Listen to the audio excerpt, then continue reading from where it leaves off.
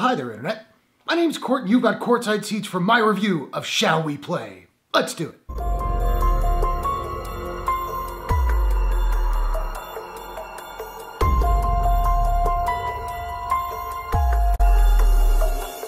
Shall We Play is a horror thriller from director Ann Forry and IndieCan Entertainment. The film stars Matreya Scarrwener, Michelle Creber, Jessica McLeod, Blake Williams, Dolores Drake, Philip Granger, and Gwenda Lorenzetti. A troubled teenage girl downloads a new app, Shall We Play, in an attempt to heal her past, but unknowingly, the app possesses her into the game. So welcome back to my ongoing coverage of the Blood in the Snow Film Festival, which is a bunch of horror stuff, genre stuff, underground cinema. It's based here in Toronto. I've got a few reviews up on my channel right now, so feel free to go check those out. And I've got a couple more coming in the upcoming days. But today we're talking about Shall We Play? And I gotta say, Shall We Play is kind of the kitchen sink of horror movies. Despite a really short runtime of only, I think, 85 minutes, this movie is a convoluted mix of horror subgenres, plot lines, and allusions to other movies. It's a bullying, possession, horror, psychological thriller that owes its DNA to The Exorcist, The Ring, oddly Jumanji, with a little bit of Black Mirror thrown in there as well. I will say for the first half of this movie, I was somewhat engaged with it. There were some decent creeps, and I was curious as to where the story was gonna go. Once it started getting more intense, though, towards the end, I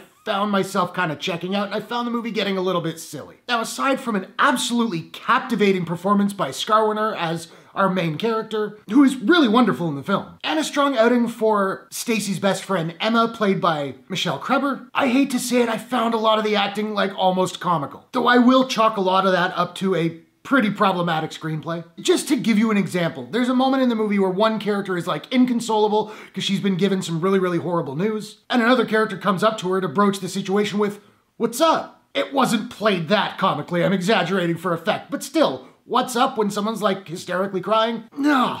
That scene should have been painfully sad and it made me laugh out loud. The editing was also a major issue for me. It's like hyper frenetic. It comes across as though it was edited in the sort of iMovie horror movie trailer template. I'm all for frenetic editing to make a scene more intense, but it really didn't work here, and I think it's because they really, really overdid it. Further, the movie has a number of logic problems. For example, our main character Stacy's constantly wondering why her friend Jess isn't at her side, despite the fact that throughout the entire movie, Jess proves that she's a horrible, mean spirited person, a bully, and an awful friend. Shall We Play does have a couple of creepy moments and a couple of really strong performances, but overall to me it felt like a hodgepodge of other better films and it never really finds its own identity. I wouldn't say don't watch the movie, but I'm not advocating that you run out and check it out immediately either. Now, I don't have a proprietary rating system as of yet, so I'm just trying to figure out what I'm gonna give Shall We Play. And I think I'm gonna give Shall We Play a... Captain Hattie, that isn't very nice. out of 10. So now I wanna know, are you looking forward to Shall We Play? What's your favorite horror movie that involves like a Ouija board or something along those lines? Whatever your thoughts, hit the comments below. Let's discuss. If you enjoyed this review, please smash that like button and give it a share if you really enjoyed it. And hey, why not take a second, do me a favor, click subscribe and ring that bell to subscribe to my channel for more movie reviews, entertainment news, trailer reactions, all that good stuff. Check back for more Blood in the Snow coverage soon. Hope you guys are all safe and healthy. Thanks very much for watching. I will see you all in the next one. Take care.